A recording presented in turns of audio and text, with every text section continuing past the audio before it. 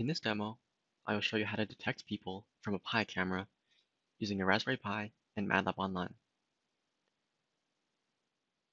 If you haven't set up a Raspberry Pi in MATLAB Online, please refer to the documentation to learn how.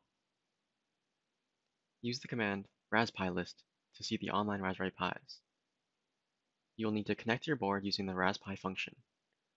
You can either specify a Raspberry Pi or use a default, which connects to the most recent board. Here, I'm using the Raspi camera module version 2, which is connected to the Pi using the ribbon cable. Connect to it by using the function camera board.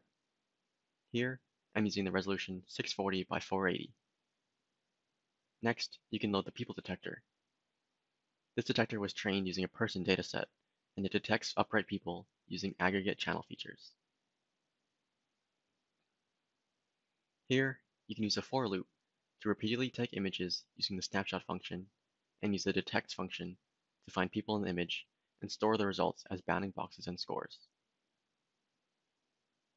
Now, you can insert these results into the image using Insert Object Annotation and then use imshow to display the image to the screen. Click Run and a figure on the right will show up.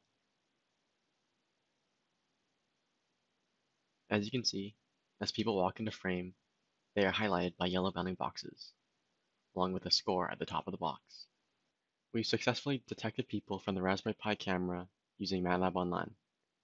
For more information, please visit the documentation at mathworks.com.